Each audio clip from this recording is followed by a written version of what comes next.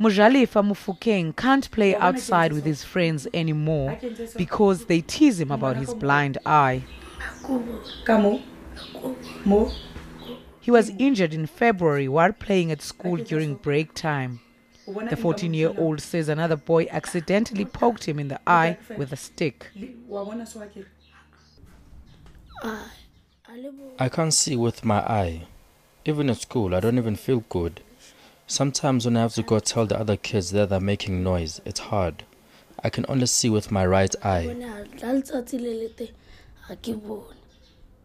His mother is upset at the way the school handled the matter.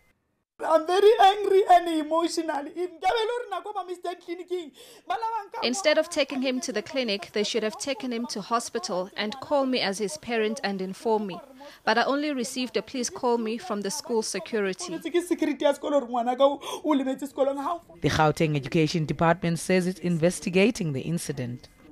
The investigation will look at whether departmental policy was breached, whether there was supervision of the learners at the time of this incident, and whether um, it was um, reported to us as per departmental policy.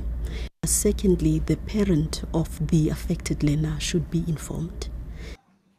Sekonyane says the department will meet with the Mafukeng family once the investigation is completed. Sibongile Mkani-Mpolweni, Deep Slot. Know more. ENCA.com.